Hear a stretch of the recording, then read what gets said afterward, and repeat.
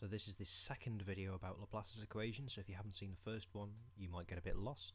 I recommend you go and watch it. We were up to the point where we were trying to solve Laplace's on equation on the square in the specific case where the boundary conditions were sine pi y along this vertical line, um, 0 along this horizontal line, 0 along this vertical line, and along the top we had e to the x minus x times e minus 1 minus 1.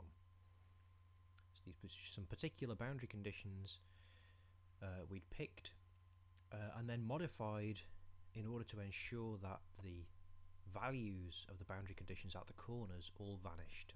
And the reason we did that was to split the, the problem into two. So the two problems we now want to solve are 0, 0, 0 sine pi y and we'll call that one theta 2 because this was boundary condition number 2 um, and the other one is 0 0 0 and then e to the x minus x e minus 1 minus 1 and this is theta 3 because this was boundary number 3 so our solution theta will be the sum of these two and the goal is to express theta 2 and theta 3 as sums of separated solutions.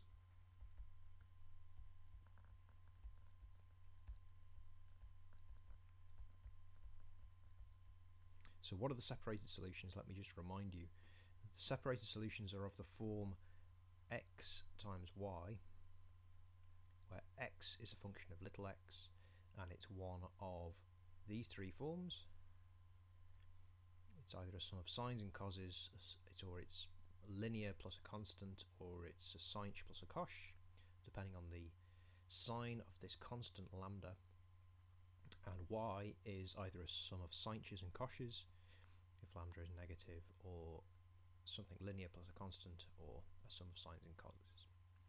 So these, these are the possibilities.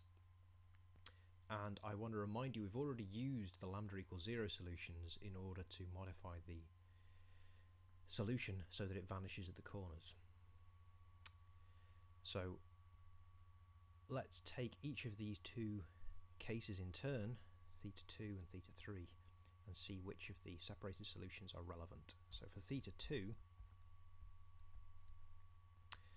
um, we note that theta 2 of x comma 0 so along this um, this bottom axis here this vanishes as does theta 2 of x comma 1 but what and that's along the top. And what does this mean? Well this means that x of x times y of 0 vanishes for all x and x of x times y of 1 vanishes for all x. But if x is not going to be 0, this implies that y of 0 equals 0 and y of 1 equals 0. So this y, this separated solution y that we're looking for, um, is going to have to vanish at 0 and at 1. So okay, I've written something slightly wrong here. Remember, we want theta 2 to be a sum of separated solutions, not just one separated solution, but if, if we put a sum here, this is still going to imply that all of the, well, we, we want all of the y of zeros to vanish at zero. That's going to be the simplest possible thing, similarly here.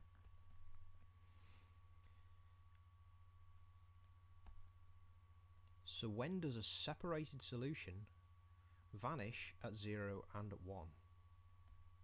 Well, let's have another look at the separated solutions they have these three forms. Certainly a linear plus a constant, the graph of that is going to look something like this. So this is c y plus d, and that's clearly only going to vanish at one point, or possibly it will vanish everywhere if, if c and d are both zero, but we don't want that as one of our solutions, that's trivial. So this is no good. It doesn't vanish at the two points 0 and 1 only vanishes once.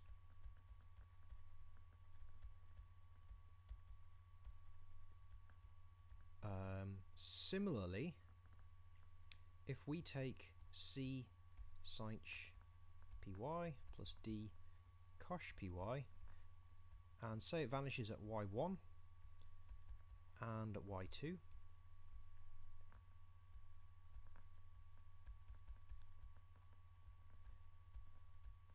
then well I want to show that y1 equals y2 so that it only vanishes once at most once. So if it vanishes at both of these places cosh never vanishes because the graph looks like this. So we can divide through by cosh and we get c tanch py1 equals minus d. From this first equation and from the second equation we get minus d equals c tanch py2 but tanch is injective so this means that y1 equals y2 so it can only vanish at one point. In other words, the only separated solutions that satisfy these boundary conditions are sines and coses. So um, c sine px plus d, sorry, c y, not x, plus d cos py. Right. Um, furthermore, we can we can deduce a bit more. So if we stick zero into into here, then c times sine of 0 is 0. so in other words, y of 0 equals 0 plus d times cos of 0, which is just d. So that's a d. And this is supposed to be equal to 0. So that tells us that d equals 0.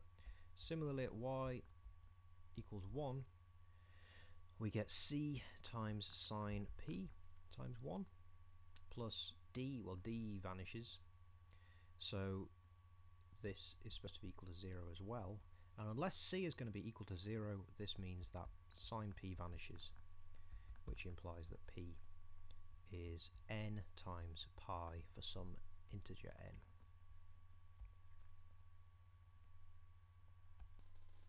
So the separated solutions we're really interested in for theta 2 are, well, zooming back up to the top,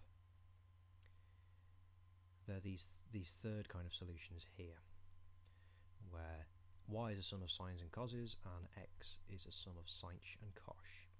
So let me write out the solution down here.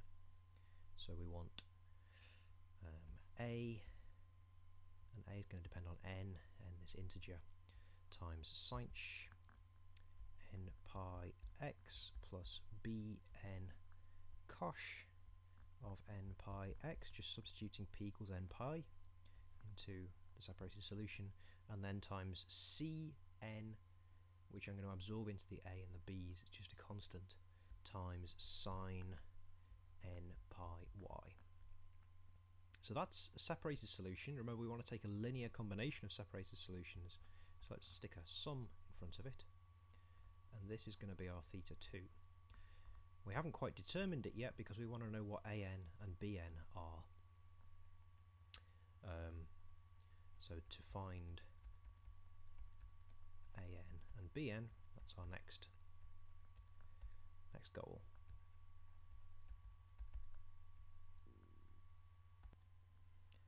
So we have used exactly two of the boundary conditions. We've used this one and we've used this one we have to use the fact that on boundary condition 2 we're equal to sine pi y and on boundary condition 4 we're equal to 0. So let's use this vanishing boundary first because that, that sounds a bit simpler. So when x equals 1 what do we get? Well um, theta 2 of 1 comma y equals sum of an times sinh of n pi, where x is 1, uh, plus bn times cosh of n pi times sine n pi y. And this is supposed to be equal to 0. Right, but now this, these are just constants here. So this is really a Fourier expansion of 0. A Fourier series. But the Fourier series of 0 is clearly 0. So that means that all of these constants have to vanish. So that means an, well, times sinh n pi equals minus bn times cosh. In other words, if we know what bn is, we can work out an and vice versa. Um, then we also have when x equals 0. So when x equals 0, we know theta 2 of 0 comma y is this function sine pi y. But it's also equal to this expression sum of an times sinh of 0, so actually that vanishes, plus bn times cosh of 0, well cosh of 0 is 1, so let's just ignore that, times sine n pi y equals, well equals sine pi y. This is the boundary condition we're trying to match. So from this we're going to determine bn and then we're going to use this formula to determine an. Um, so how do we determine bn? Well this is again a Fourier series. Everything from here on is going to be just Fourier series. And the Fourier series of sine pi y is just sine pi y. So this means that b1 equals 1 and bn equals 0 if n is not equal to 1. Okay, because then if you just substitute those two in, you certainly get sine pi y on this side. Okay, and that implies that a1 equals um, minus b1 times cosh pi over sinh pi and all the other a's vanish.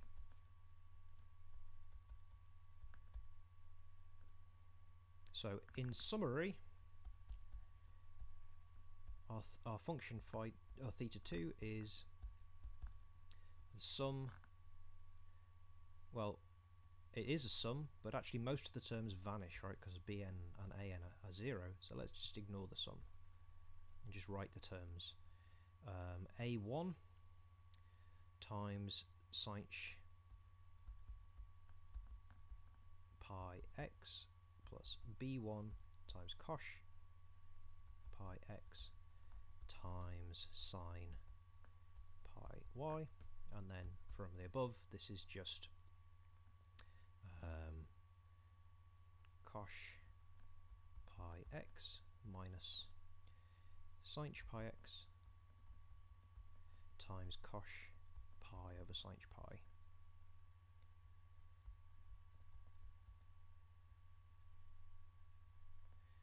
all times sine pi y.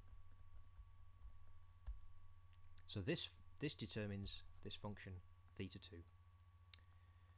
So the next goal will be to determine theta 3 um, and the reason I did this one first was because the Fourier series of sine is particularly simple, right? It's just sine. So remember, theta 3, we're going to have to take the Fourier series of this function, e to the x minus x, e minus 1 minus 1. And that's what I'll do in the next video.